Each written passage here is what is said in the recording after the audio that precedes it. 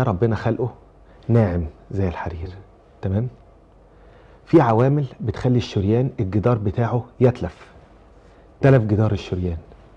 تلف جدار الشريان ده اللي إحنا بنسميه تصلب الشرايين. تمام؟ تصلب الشرايين يعني لما نسبة الدهون بتزيد في الدم ومع الضغط العالي بيحصل إن الشريان نفسه في حتة تبوظ عاملة زي الأسفلت. الأسفلت الناعم والأسفلت لما يحصل فيه إيه؟ حفرة أو. مطب. تمام؟ الحفرة دي بتخلي الدم وهو ماشي ما يمشيش بسرعته العادية.